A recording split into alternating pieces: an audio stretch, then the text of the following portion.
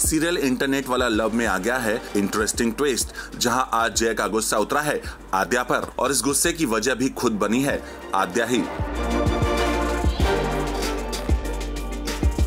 दरअसल एक तरफ़, जहाँ जय की दोस्त ऐश्वर्या को जय के पास रहने के लिए उसकी माँ कर रही है प्लान तो वहीं दूसरी तरफ़, आद्या की दोस्त सेबी भी उसे बताती है कि उसे जय से प्यार हो गया है।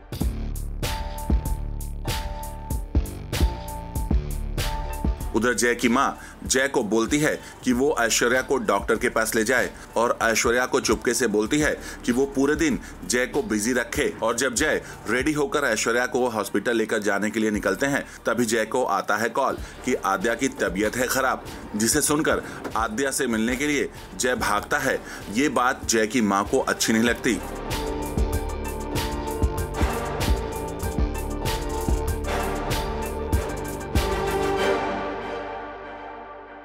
वहीं जब जय गाड़ी से जाने वाले होते हैं, तभी वहाँ पहुँच जाती है पुलिस।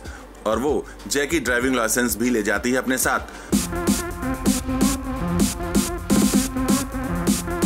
जिसके बाद जय बहुत परेशान होते हैं और वहाँ से भागते हैं आद्या के पास, क्योंकि उन्हें आद्या से मिलना है। वहीं ऊपर से ये सब नज़ारा ऐश्वर्या देख रही है और होती है शॉक।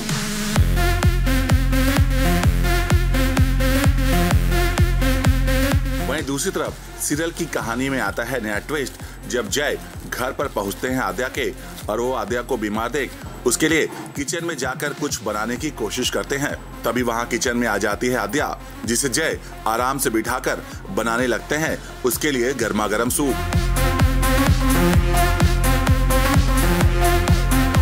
लेकिन तभी अचानक जय को लग जाती है चोट, जिसे देखकर आद्या भाग कर आती है उसके पास और करती है उसका केयर।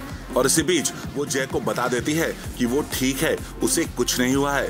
जिसके बाद जय को आता है गुस्सा आद्या पर और वो गुस्से में होकर लाल बरस पड़ता है आद्या पर और उसे खरी खोटी सुनाकर वहाँ से चला जाता है।